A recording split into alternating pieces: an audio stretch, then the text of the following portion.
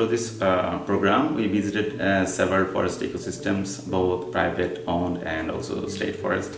And we visited several long-term research experiments. We are also uh, sitting together with uh, the faculty members from University of New Hampshire and um, conducting uh, and thinking about to have some short-term research project on different research topics. So as part of this partnership, we really hope to develop uh, actual collaborative studies uh, over in Bangladesh where uh, we can work together to better understand what is happening, why it is happening, and what we can do to help prevent or solve problems. As I've been learning more about Bangladesh through my conversations with the Bangladeshi scholars, come to realize just how immense some of the challenges Bangladesh is facing around issues of climate change and water resources. And I've also been so inspired by the creative ideas that they're bringing forth to um, try to uh, solve and address some of these challenges that they're facing. I think these uh, these experiences and will help us to build capacities and uh, strong collaboration and the most uh, notably the student will be benefit uh, from these experiences which I will share through uh, lecture and uh, training and seminar. We also have seen that the extension people from UNH they have created some good practice guideline for different kind of stakeholders. And we feel that uh, in uh, the forest department of Bangladesh we can do something similar to that.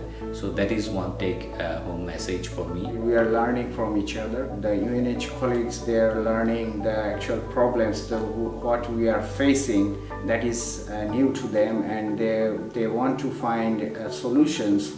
And from UNH uh, we are Actually, we gather different uh, information materials and um, tools and techniques and so that uh, that can help us to uh, replicate those uh, methods and, and, we can bring them uh, back to Bangladesh. And implement in our areas to find a solution. So one of the, the real connection points for me, really from the get-go of this opportunity, was to be able to share ideas with people looking at mangrove restoration ecology um, in a completely different geography than I've ever been to or worked in.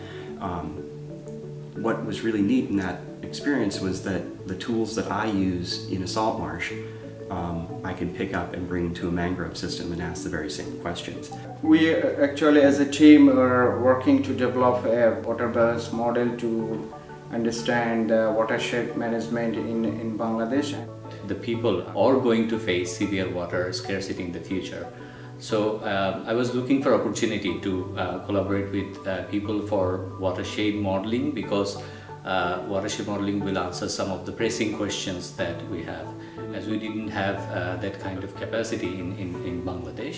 We've been uh, sharing with the fellows visiting us the, um, the water balance model, which is um, a tool that we use to understand the hydrology, the water quantity, and water quality, which is something that's potentially very useful to apply in Bangladesh. After participating these programs, I have a plan to share what I got from here to make a training programs or workshops uh, for sharing my knowledge. This opportunity has been really, really um, motivating for me in the sense that they have such deep knowledge about the, the, the issues they face in their country. I, I can tell they're a dedicated team to collaborate with and I think we both have that collective drive, that shared interest to make this project a, a, success. The College of Life Sciences and Agriculture at the University of New Hampshire has a long and strong history of teaching, research, and service in the fields of forestry and climate science. And we know that the critical issues facing our ecosystems are globally connected. And to best address these issues, our researchers need to be globally connected as well. The Forestry and Climate Science Exchange Program will leave researchers and practitioners in Bangladesh and the United States better equipped to bring a diverse set of perspectives to the challenges we are navigating in our forest systems.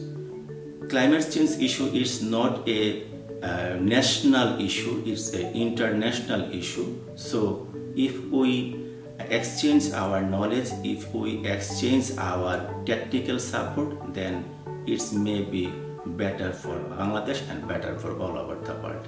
We live in one world and it is our duty to make our earth safe for our future generations. So in this connected world most of the problems are global and uh, when we act locally, our activities affect uh, global communities. So working together uh, is the best way to solve uh, those problems.